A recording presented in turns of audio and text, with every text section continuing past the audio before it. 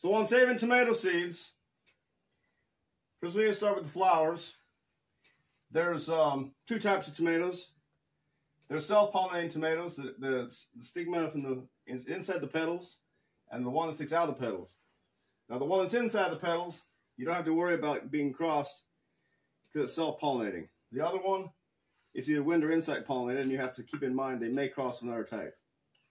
Okay, so now you got your, once you have your tomatoes, take the seeds and the juice and put it in a container without water. Just just put them, let them soak for between three days and seven days.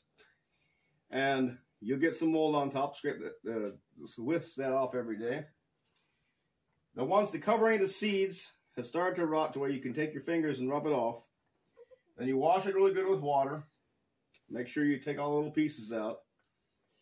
And then spread on a tray to dry. And then you got your own tomato seeds.